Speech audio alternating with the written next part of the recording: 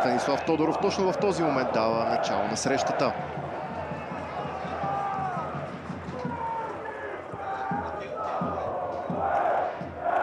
Зебли с топката, който е бил близо до това да се случи още през лятото. Но ето, че пак през зимата. Сега възможност за локомотив. Топка над вратата. Ето е първата по-добра възможност в матча, която се откри пред Петър Витанов.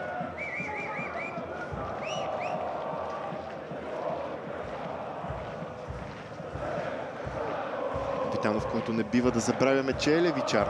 Така че топката му успя да намери между линиите Димитър Илиев. Той отново получи от Джовани Трупе. Сега подава към Витанов. Той спира за Зебли. И ето го първия гол в двубоя. Той е за домакините от Локомотив. Има обаче вдигнат флаг за засада. Очакваме, разбира се, и да видим повторение на ситуацията.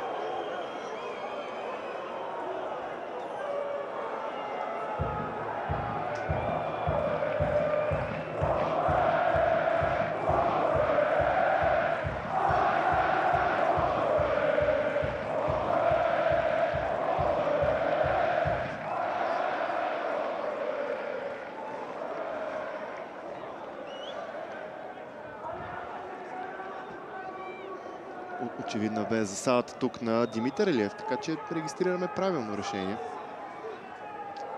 Засадата е потвърдена и играта ще продължи. Дава знак Красимир Костов да се изтеглят напред футболистите на Ботев.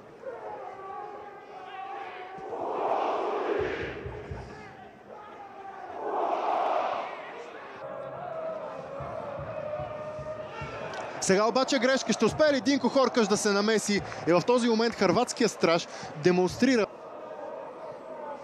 Ето отново ситуацията и грешния пас на Матеос.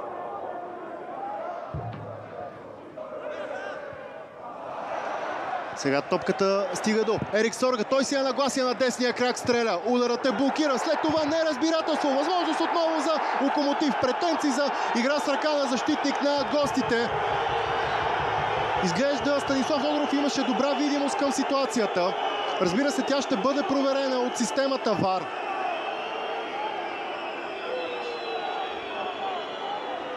Моментално реагираха както футболистите в черно-бяло, така и феновете. Ето тук добрите действия на Денислав Александров. Тук неразбирателството. В крайна сметка крайна сметка няма да има наказателен удар.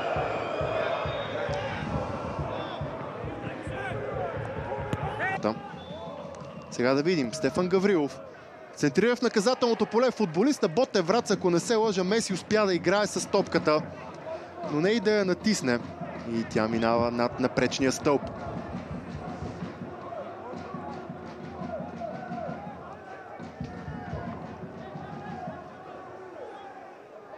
Бе длъжен да отиграе по-добре ситуацията. Централ към Бран Пере, който сяка се намираше в положение да засада. Флага все още обаче е ниско. Слага стопката на левия крак Перея. Ударът му е блокиран и ето чак сега е маркирана засадата. В крайна сметка обаче Станислав Тодоров дава авантаж, тъй като прецени, че Локомотив Полдив има предимство в ситуацията.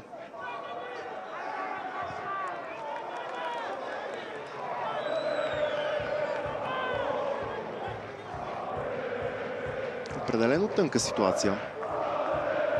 Знаете какви са инструкциите към асистент-съдиите в подобни моменти, когато не са сигурни да не бързат с своето отсъждане.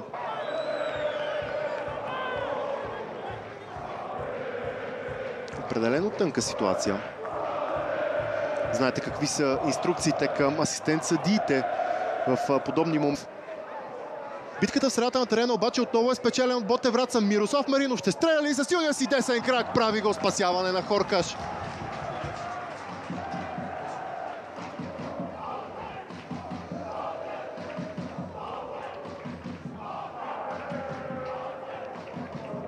Мирослав Маринов. Предполагам, повечето от вас знаят, разполага с доста добър.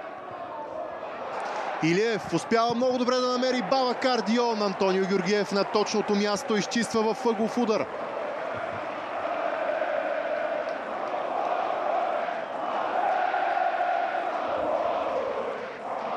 Малко преди изтичането на редовното време в първата част.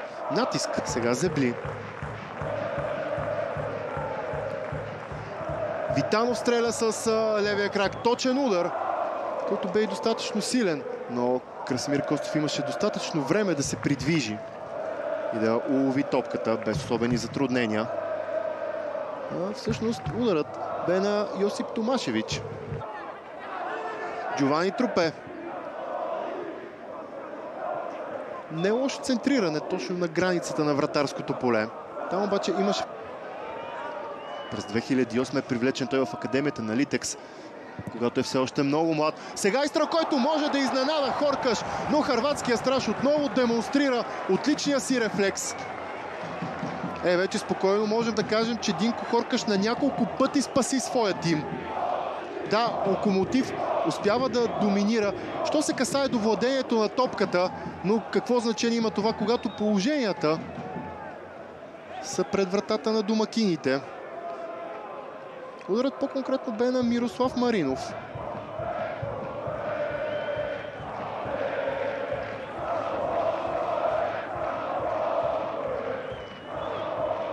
До 2020-2021 успява да дебютира във втора лига. Сега нова възможност, изключително сериозна пред Баба Карение на ситуацията.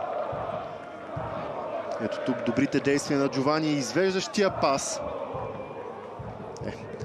Бе дължен Баба Кардион да се справи по-добре в ситуацията. Разбира се, веднага бе притиснат от Том. Видя движението напред на своя съперник. Сега обаче Джовани. Изстрел към вратата на Красимир Костов и отново топката не попада в очертанията.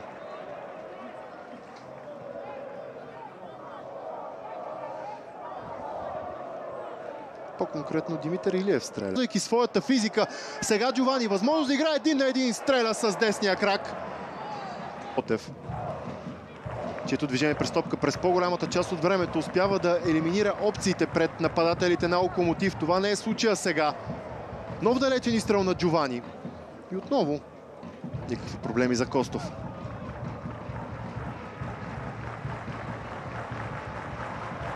Джовани. Негов съотборник иска топката, получава я. Този удар вече бе по-близо до целта, но отново неточен. Ивайло Димитров.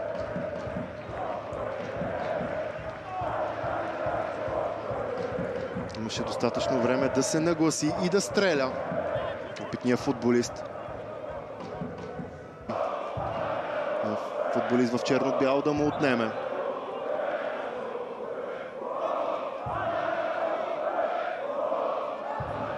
Ето ситуацията от преди малко.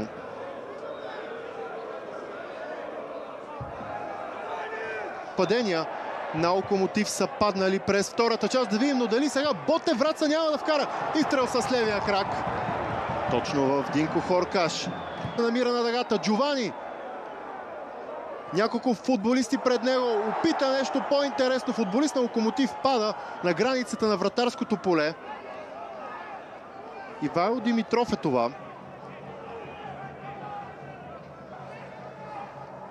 Няма да последва никакво отсъждане обаче от Станислав Тодоров. А ние разбира се очакваме и да разберем какво ще бъде минималното добавено време.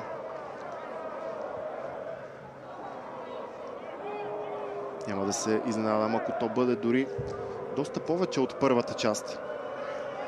Футболист в зелено е на земята.